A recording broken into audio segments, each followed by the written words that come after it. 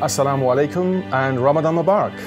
I'm here to tell you about a really exciting opportunity this Ramadan to win uh, an Umrah ticket for two by opening up your Islamic Relief letter this Ramadan. All you need to do is open up to see if you're the lucky winner of the golden ticket. What I need to do is to stop the random number selector behind me that will choose somebody randomly from our database. So here goes, Bismillah. The number selected is 114625. If you're a winner or not, inshallah, please have a good Ramadan and try to reap the rewards, inshallah. Assalamu alaikum.